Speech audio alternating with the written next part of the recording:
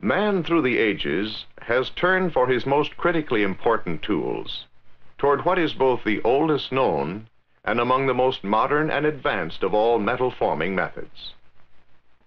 The process known as forging.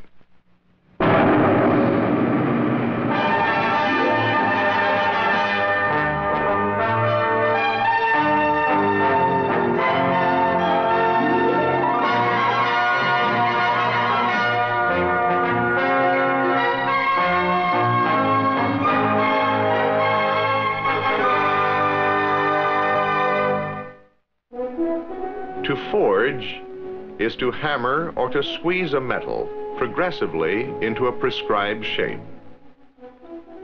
This movement of the metal in a prescribed manner refines and elongates the grain of the metal, producing maximum strength and fatigue resistance for that material. Whatever the part, it is given greatest strength at points of greatest stress by controlling grain flow in developing the forging. The result is a part with unexcelled strength to weight ratio. As the internal structure of the piece is refined and oriented, the shape is being produced. And as the shape is produced, added strength, structural integrity, impact, and fatigue resistance, and other improved mechanical properties are developed.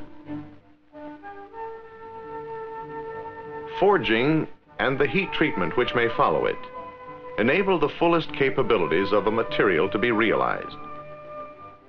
A properly designed forging provides maximum structural integrity, reliability, and durability by virtue of the unique working it has received. Almost any metal can be forged. It usually starts with billets and bars, but sometimes starts with ingots or metal powder and proceeds in a variety of ways to produce the necessary metal movement. Forging is accomplished by forcing the material into the confines of the carefully designed die cavity. Some forgings are hammered and some are squeezed. The main difference between hammering and squeezing is the speed with which the pressure is applied. There are materials which are forged best by sharp hammer-like blows, and other materials which resist rapid reshaping and must be forged with slowly applied force. Many parts can be produced either way, at the option of the forging designer who also has at his disposal several supplementary means of forging, which provide him with ways of achieving desired shapes and configurations. For example, shaping metal between rolls may be a forging operation. So is twisting. And so is bending. Used before or after basic forging operations, such supplemental means make it possible to forge more complex configurations. There are three general types of closed die forging designs, distinguished mainly by their degree of dimensional sophistication, as illustrated by these three versions of a typical channel section. These are no draft, commercial, and blocker type forging designs. Most sophisticated of forgings is the no draft or close tolerance type, which is closest to a fully completed part, needing little or no machining to make it ready for assembly. Next are those forgings whose configurations are less sophisticated, generally calling for some subsequent machining to make them functional. Commonest of forgings, they are called commercial designs. Commercial type forgings have slightly tapered rather than vertical sidewalls. This is only enough to free the finished piece from the dies, and the angle usually ranges from 3 to 7 degrees. Some surfaces of many commercial forgings are ultimately used as forged. Some commercial forgings are further refined by coining, which brings the forging closer to the dimensions of the ultimate part. The least precise of closed die forgings are the blocker type designs. Blocker type designs are used when the characteristics of forgings are wanted in the finished parts, but time does not permit or the quantity does not warrant the sinking of more complex dies. As their name implies, they are blocked out shapes which roughly approximate the form of the ultimate part. No draft. Commercial and blocker type. These are the distinctive types of closed die forging designs. Another distinct type of forging is the open die or flat die forging, which uses the simplest dies and produces the least precise configuration. For some applications, it meets a real need. The successive steps required to produce a forging may be performed in various ways, depending upon the requirements of the finished part. Here are some examples of forging production. A board hammer,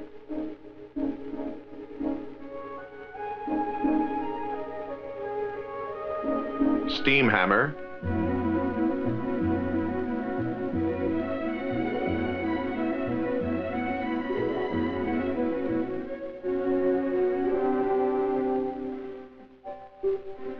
airlift hammer,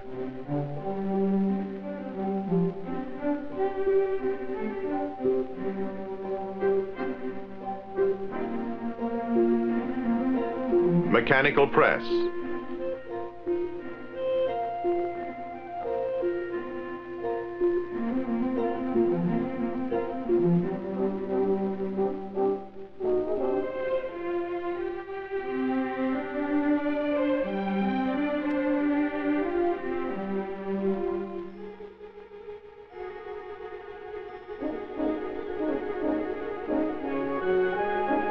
Horizontal forging machine or upsetter.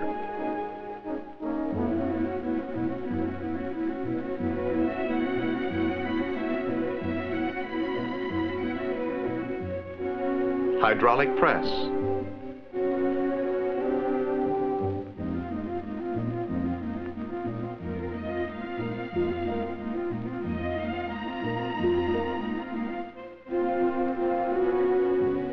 High energy rate machine.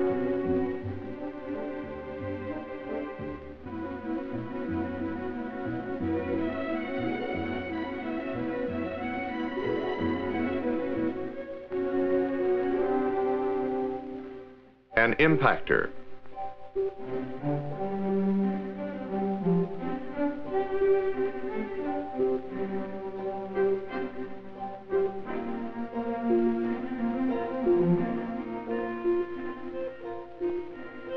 Heat treatment, when required to complete the development of optimum properties, is frequently provided by the forging's producer, who is also equipped to clean the parts. The closed die forging process assures a high degree of structural integrity and dimensional uniformity, part after part, and offers assurance that inspection requirements can be minimized. The internal uniformity of forgings provides consistent machinability and lends itself to consistently trouble-free, high-speed processing.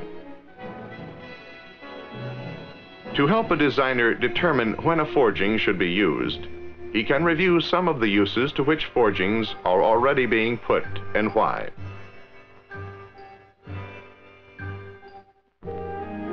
For example, forgings are found at vital points of automobiles.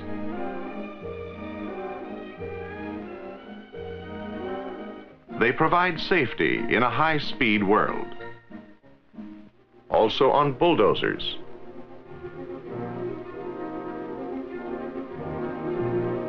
earth-moving equipment.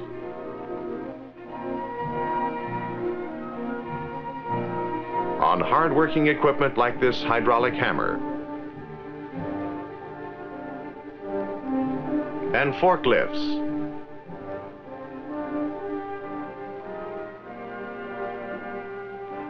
Forgings filled critical requirements in railway applications. Mining equipment Trench diggers. Valve and pressure fittings.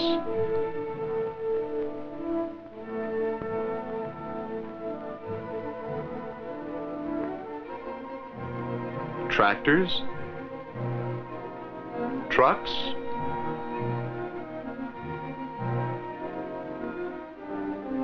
aircraft, and missiles. A product designer seeking maximum engineering value in designing a part which is relatively lighter in weight, less bulky, stronger, more shock and fatigue resistant, more easily machined and heat treated, weldable, and economical can make no better move than to call in a qualified forging engineer. The help of experts with broad forging experience is essential because forging is a fine blend of art and science, and both theory and practice are required for maximum effectiveness. They will consider the functional requirements for the part, including stresses and operating environment. The overall assembly, perhaps thinking of possible economies of integrating two or more parts into a single forging. How many of these parts will be needed? How soon and over what period of time? They will consider the fillet and corner radii and the thickness, depth, and draft angles of webs, ribs, or flanges. Going too far one way can make a forging needlessly expensive to produce. Going too far the other way can make it bulkier and heavier than it needs to be. They will consider the properties the part must have to determine the proper forging and heat treatment operations. The corrosion problems the part may experience. Its operating temperatures and the temperature changes it must undergo the selection of the metal or alloy, the machining methods and locating points. They will have in mind greater economy coupled with greater reliability and effectiveness, excellence of design, appropriateness of material, and the fullest possible use of the characteristics forging can bring to any assembly. The art of forging is being augmented by the science of forging at an increasingly rapid rate, especially in the fields of research, development, and quality control. Better forging materials and new ways of forging for optimum properties and soundness are being developed by comprehensive programs. The advance is continual, using a variety of techniques. Improved types of corrosion, impact, and magnetic permeability tests ultrasonic, radiographic, and dye-penetrant inspection methods. Electron microscopy, spectrographic analysis, the complete range of modern laboratory instrumentation. Forging capabilities and knowledge have expanded immensely in recent years, and this learning is being advanced at an accelerating rate. Steady advance in forging technology continually transforms difficult designs into practical production. The vision and the courage to go ahead are the only observable limitations on the growth, refinement, and enlargement of the forging process. There was a time, for example, when the only way to transfer a forging from one operation to another was by hand. Today, this is done mechanically, when the quantities involved make it economically feasible, or when the weight involved makes it humanly desirable. There was a time not long ago when forgings this large could not be made because there was no equipment large enough to forge them. There was a time when a configuration like this was considered difficult to forge because the metal would cool too rapidly for it to be forced through such thin webs and fill the rim. Today, such configurations are increasingly available. There was a time when copper and its alloys, and later carbon and low alloy steels, were about the only metals considered forgeable. Today, the list of metals forged is long and growing continuously, including a large number of steel alloys and the maraging steels, along with aluminum, magnesium, titanium, tungsten, beryllium, columbium, molybdenum, zirconium, hafnium, and others. Carbon and low alloy steels have long been the workhorse materials for forgings, and they meet a variety of service requirements.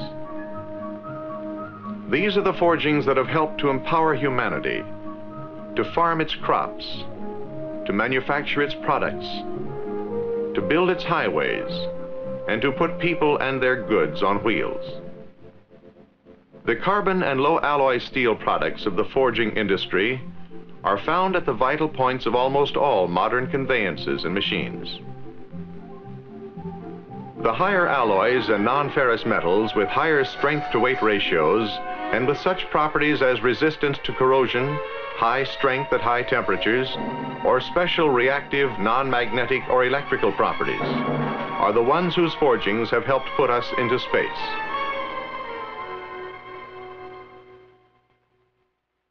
Many product designers, however, are not trying to shoot the moon.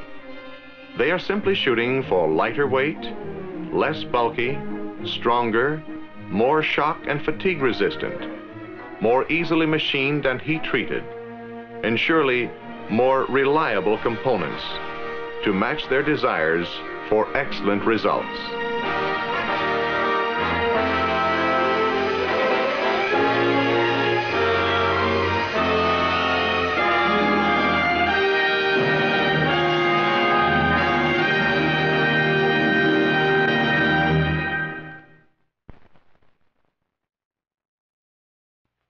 Man through the ages has turned for his most critically important tools toward what is both the oldest known and among the most modern and advanced of all metal forming methods. The process known as forging.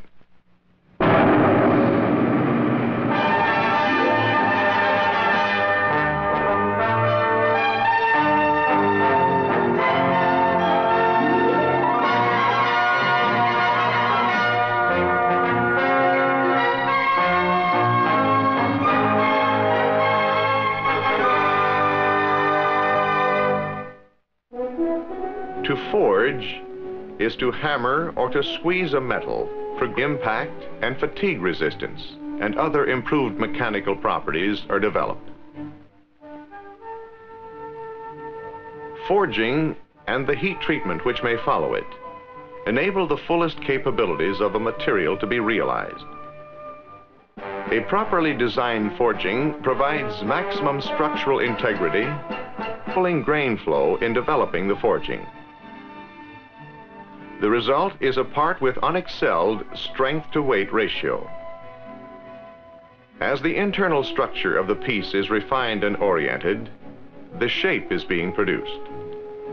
And as the shape is produced, added strength, structural integrity, aggressively into a prescribed shape. This movement of the metal in a prescribed manner refines and elongates the grain of the metal producing maximum strength and fatigue resistance for that material. Whatever the part, it is given greatest strength at points of greatest stress. By control